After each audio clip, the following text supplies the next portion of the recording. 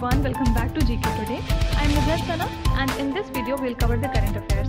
Before we move ahead, let me inform you that these questions are part of our Daily 20 MCQ series 2022 in the GK Today's Android application. So if you're looking for the text version of these questions and their explanations along with the interactive quiz, you may consider joining our Daily 20 MCQ series in the GK Today Android application. In this course in app, you get daily 20 MCQs, a fortnightly quiz, a monthly revision document, and also category wise revision ebooks that are optimized for reading on mobile. You are also able to access all archives of questions from January 2020 onwards. And let me tell you one more thing if you want the Hindi version of this session, you can refer to our former channel named as GK Today. The link has been given in the description box from where you can reach to. So without taking much of your time, let's get started. Good morning everyone. Welcome back to GK Today. And today we'll be discussing most important MCQs for 17th and 18th of April 2022. Let's start. The Pradhan Mantri Sangrahalaya Museum is located in which city? So Prime Minister Narendra Modi has inaugurated the Pradhan Mantri Sangrahalaya which is a museum that has been dedicated to all the prime ministers of the country since independence. Okay. So Prime Minister's Museum comprises of total 43 galleries and there are displays from the freedom struggle and the framing of the constitution as well. So this Sangrahalaya basically highlights the achievement of the prime ministers, fine. So this lies in New Delhi. Now coming to the question slide, let's see some of the important things that have been recently inaugurated. Nadabet Seema Darshan project was inaugurated in which Indian state? So Union Home Minister Amit Shah has launched it along the Indo-Pakistan border in the state of Gujarat and the cost of the project is 125 crore rupees. What is the objective? This will actually help in increasing the people's respect towards the personnel of border security force and it will also help in boosting the tourism in this area and hence employment will also be generated. Fine. Varnika Ink manufacturing unit of Bharatiya Reserve Bank Note Mudran Private Limited has been inaugurated in which city? So this has recently been inaugurated in Mysore, Karnataka and capacity is 1500 metric tons and this particular unit has been set up to enhance the security of banknotes of the country. Okay and also it will help in boosting the Made in India initiative, right? Decentralized Waste Management Technology Park has been inaugurated at which state or union territory. So it has been inaugurated in New Delhi under the Waste to Wealth Mission which is an initiative under the principal scientific advisor to the central government's office okay so it has been spread over 1000 square meter of area and capacity is 10 tons solid waste treatment facility per day. Okay. India's first 100% women owned FLO means FICCI Ladies Organization Industrial Park was inaugurated in which city? So it has been inaugurated in Hyderabad to commemorate the International Women's Day. When do we celebrate this day? On 8th of March and this year, what was the theme? Gender equality today for a sustainable tomorrow. Okay. Which union ministry inaugurated the Ishan Manthan festival? So it has been inaugurated by Ministry of Culture where at New Delhi and it is a kind of attempt to celebrate the plural expressions of Northeast India. Biplobi Bharat Gallery was recently inaugurated at which city? So it has been inaugurated in Kolkata on the occasion of Shahid Divas. So it depicts the contribution of the revolutionaries towards the freedom struggle. Fine. Next question. Which union ministry implements the Rashtriya Gram Swaraj Abhiyan?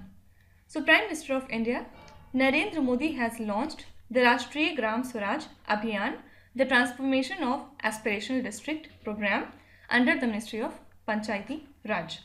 So this was approved in the year 2018 and it aims to transform the selected district and it would help 2.78 lakh rural local bodies to achieve the sustainable development goals. And the Union Cabinet has approved a financial outlay of 5,911 crore rupees for the Rashtriya Gram Swaraj Abhiyan. Okay, so it approved the continuation of the centrally sponsored scheme from 1st of April 2022 up to March 31, 2026. Okay, so this was the main thing why this scheme was in news. Fine. So let's see some of the important ministries. Which union ministry implements the Pradhan Mantri Daksh Yojana? What is the full form of Daksh? Dakshta or Kaushalta Sampan Hitgrahi Yojana. Okay, and this ministry is implemented by Social Justice and Empowerment. What is the aim? To make skill development schemes accessible to the targeted groups of SC, OBC, and Safai Karamcharis. Which the state implements the Mukhyamantri Bagwani Bima Yojana?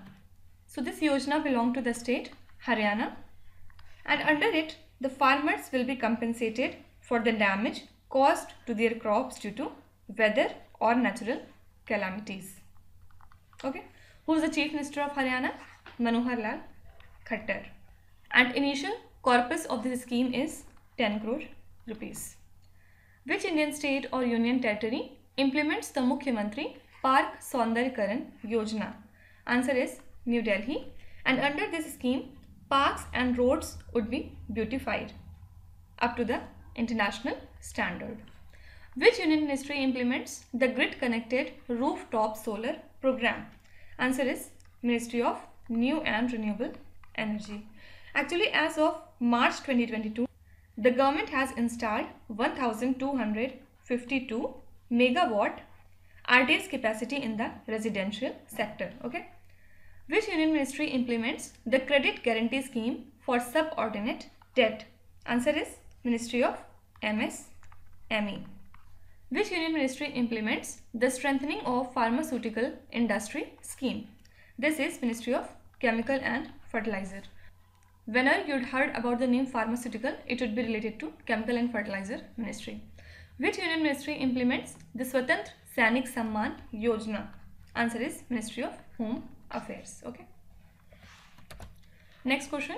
Who has been awarded the International Gandhi Award for Leprosy 2021? So Vice President M. Venkaiah Naidu presented the International Gandhi Award for Leprosy to Dr. Bhushan Kumar from Chandigarh and Sahyog Kushtha Yagna Trust from Gujarat. And this annual award was instituted by Gandhi Memorial Leprosy Foundation and the National Leprosy Eradication Program has been trying to ensure total eradication of leprosy in India. Okay. Now let's see some of the important awards. Which racing driver won the Australian Grand Prix 2022 tournament? So recently this tournament has been won by Charles Leclerc. Deepika Pallikal who won the mixed doubles and women's double title recently plays which game? So she is related to squash. Who won the Excellence Award in OTM Mumbai recently? Answer is Maharashtra Tourism. Which country won the ICC Women's World Cup 2022? So this event took place in New Zealand and Australia has won this tournament by defeating the country England. Which state won the Best State Award at the National Water Awards 2022? Answer is Uttar Pradesh.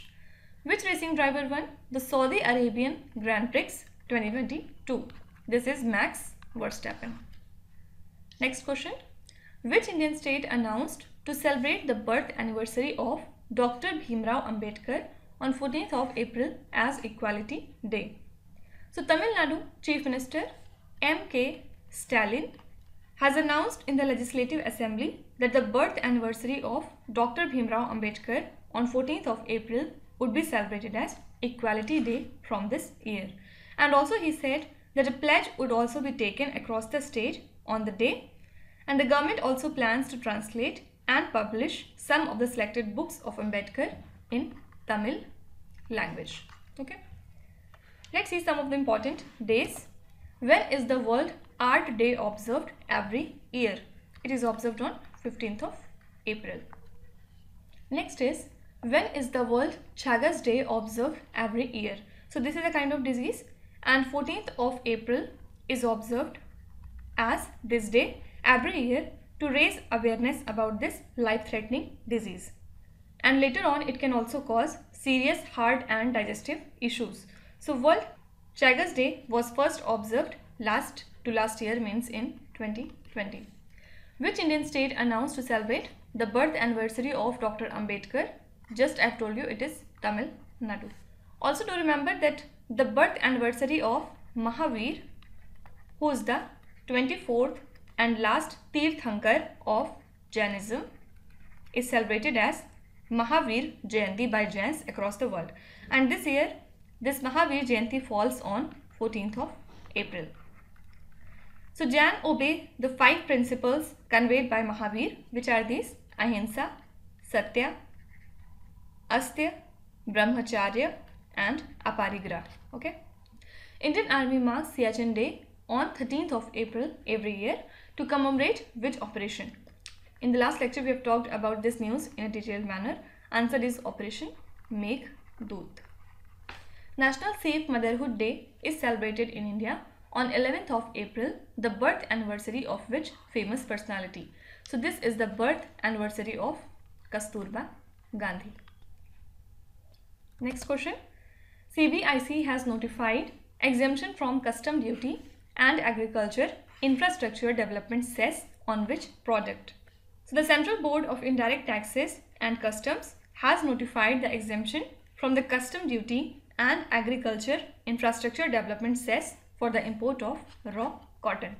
And this exemption would benefit the textile chain means yarn, fabric, garments and made-ups and provide relief to the textile industry and consumers also, industry has been demanding for removal of 5% basic customs duty and 5% agriculture, infrastructure and development cess on the raw cotton earlier. Okay.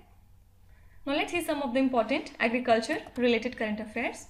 Indian Agriculture Towards 2030 book was launched by Niti Aayog along with which institution? So this book was launched by Niti Aayog along with FAO that is Food and Agriculture Organization. You have to tell me where does the headquarter of this organization lie. How much amount has been allocated for agriculture road map 3 means 2017 to 2022. Answer is 1.54 lakh crore rupees. For which year did Union Energy Minister R.K. Singh announce that India will use the zero diesel in agriculture and replace the fossil fuel with renewable energy. So we would do that by 2024. What is the name of the Yes Bank initiative to collaborate on the development of digital financial solutions for the agriculture sector? What is the name? Yes Bank Agriculture Infinity. Okay. Also do remember that recently ICICI Bank and GIFT Special Economic Zone have signed a memorandum of understanding to promote the GIFT Special Economic Zone to Indian as well as global businesses, including the IT-enabled services and financial services. Okay. So GIFT Special Economic Zone is the country's first international financial services center which is being developed as a global financial services hub. And both of them will jointly work towards attracting the global investors and capital market firms to set up the operations in GIFT Special Economic Zone. Fine. Agriculture, infrastructure and development cess was reduced to cut the tax on importing which product? Answer is crude palm oil. Malkangiri, which topped the most improved aspirational district in agriculture and the water resources sector is in which state? It lies in Odisha. Right? Next question. Which Indian state has recently slipped into a power crisis due to shortage of coal? So Punjab slipped into a power crisis due to a shortage of coal and against the installed capacity of 5680 megawatt of thermal power plants, only 3150 megawatt power is being generated. So several power plants including Talwandi Sabo power plant and that at Goindwal Sahib were operating at reduced load or shut down with no coal to operate it. Okay. Now let's see some of the important states. Which Indian state is the host of the FIH Hockey Men's World Cup 2023? Answer is Odisha. Chennakeshava temple, which was seen in the news recently, is located in which state? It lies in Karnataka. Asian Development Bank signed an agreement with India to offer $2 million for the urban development project in which state? Headquarters of ADB lies in Philippines and it has signed this agreement with the state Nagaland. Campbell Bay, which was recently hit by an earthquake, is located in which state or union territory? Answer is Andaman and Nicobar Islands. You have to tell me Cyclone Asani has hit which country? Japan International Cooperation Agency is set to fund which state to upgrade the health infrastructure through a 3800 crore rupees project? Answer is the state Assam. Which state assembly adopted a resolution against the Central University's common entrance test? Answer is Tamil Nadu. Next question. Kripan Shakti integrated firepower exercise was held in which state? So this exercise is an integrated firepower exercise at Tista Field Fighting Ranges near Siliguri in West Bengal. And the exercise was aimed at combining the capabilities of Indian Army and the Central Armed Police Forces to fight an integrated battle. Fine. Now coming to the question slide. Khanjar is a joint special forces exercise held between India and which country? So Khanjar is the exercise between India and Kyrgyzstan. Varuna is the bilateral naval exercise between India and which other country? So Varuna is between India and France. Which is the venue of Indian Ocean Naval Symposium Maiden Maritime Exercise 2022? Answer is Goa. In March 2022, which edition of the SLINEX bilateral naval exercise between India and Sri Lanka took place? So this was the ninth edition this year, but not very relevant. Only thing important is SLINEX is the exercise between India and Sri Lanka. Prasthan is an offshore security exercise conducted by which armed force? Answer is Indian Navy and this is conducted every six months to ensure the offshore security. Exercise Dustlik is a joint defense exercise held between the armed forces of India and which other country? Answer is Uzbekistan. Next question. Which institution has announced that $2.2 million in climate action grants for the local innovators? So the United Nations Development Programme and the partners of the Adaptation Innovation Marketplace have announced $2.2 million in the climate action grants for 22 local innovators across the 19 countries including India. And this initiative empowers the local actors and contributes to the principles for locally led action which have been endorsed by UNDP and the partners around the world. So this funding will basically enhance the local climate action and accelerate the delivery of targets of the Paris Agreement and the Sustainable Development Goals. Fine.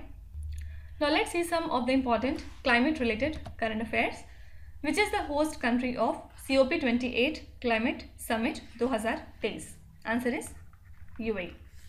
The Intergovernmental Panel on Climate Change in its recent assessment report mentioned which Indian city for sustainable transportation. So this city is Kolkata. A new project to enhance climate resilience of the coastal communities has been initiated across which is states. So this has been initiated across Andhra Pradesh, Maharashtra and Odisha. Which Indian city released a climate action plan and laid down 30 years roadmap to tackle the challenges of climate change. The city is Mumbai. Can you tell me the first water taxi service was inaugurated in which city? As per the Deloitte 2022 sustainability report, the disconnect between ambition and impact, Indian businesses rank dash in their concern for climate change. So we are at fifth rank in the concern of our climate change. Who has been announced as the first United Nations Development Programme India Youth Climate Champion. So UNDP has selected Indian content creator and YouTuber Prajakta Koli as its India Youth Climate Champion. Okay. Next question. Which Indian chess player won the 2022 Reykjavik Open tournament? So Indian Grandmaster Praggnanandhaa R recently won this tournament in Iceland. Do remember that Praggnanandhaa is the fifth youngest person in the world to achieve the title of Grandmaster in the year 2018. Okay. Coming to the chess related current affairs, which Indian city is the host of 44th World Chess Olympiad in 2022? This city is Chennai. Which city is the host of Senior National Chess Championship 2022? Answer is Kanpur. Nodirbek Abdusattorov, the youngest ever world rapid chess champion, is from which country? So he belonged to the country Uzbekistan. Which chess player won the FIDE World Championship? Answer is Magnus Carlsen and he belonged to the country Norway. Which country won the FIDE World Women Team chess title at Spain in 2021? Answer is Russia. Hou Yifan, who won the 2021 Women's Speed Chess Championship, is from which country? So she is from the country China. Next question. Who is the first Indian cricketer to hit 10,000 runs in T20 cricket for men? So Team India and Mumbai Indians captain Rohit Sharma has become the second Indian batter to complete 10,000 runs in the T20 crickets for men. And Virat Kohli became the first Indian batter to score the 10,000 T20 runs last year, while West Indies legend Chris Gayle was the first cricketer in the world to reach the five-figure mark in T20 cricket. And Rohit Sharma achieved this historic milestone during the match against the Punjab Kings. Okay. Now let's see some of the important cricket related current affairs. Which Indian cricketer has been presented the prestigious Sports Icon Award? This has been given to Suresh Raina. Which Indian cricketer recently became the highest wicket taker in the history of the Women's World Cup? Answer is Jhulan Goswami. Who is the first Indian woman cricketer to appear at 6 ICC Women's Cricket World Cup? Answer is Mithali Raj. Which cricketer has the highest wicket haul in test matches? This is Murli Dharan. Who is the only second player to win ICC Women's Cricketer of the Year award? This is Smriti Mandhana. And who is the first player to win this title? Answer is Jhulan Goswami. Okay. Also to remember that ICC Men's Test Cricketer of the Year 2021 award was given to the English captain Root. And ICC ODI Cricketer of the Year 2021 was given to Pakistan's keeper Babar Azam. Fine. Who's the only Indian cricketer to feature in the ICC T20I Team of the Year for 2021? Again answer is Smriti Mandhana. Indian cricketer Rishabh Pant has been appointed as the brand ambassador of which state? So Rishabh Pant is now the brand ambassador of the state Uttarakhand. You have to tell me Manika Batra who has become the brand ambassador of Adidas recently plays which game? Do let me know in the comments. Now let's start with today's quiz. Here on the slide you can see 5 questions which have been taken from the past 2-3 days current affairs. Pause the video and try to solve each of these questions and at the end of the lecture, do not forget to share your scores in the comment section. So please be honest and do not cheat with yourself. So that's it for today. I hope you have liked this session. These were the important news and events from today. and we will meet again tomorrow with some more important current affairs. Till then, stay tuned. Thank you so much for watching and please do not forget to subscribe to GK Today. With this, Minu Zahadsana signing off.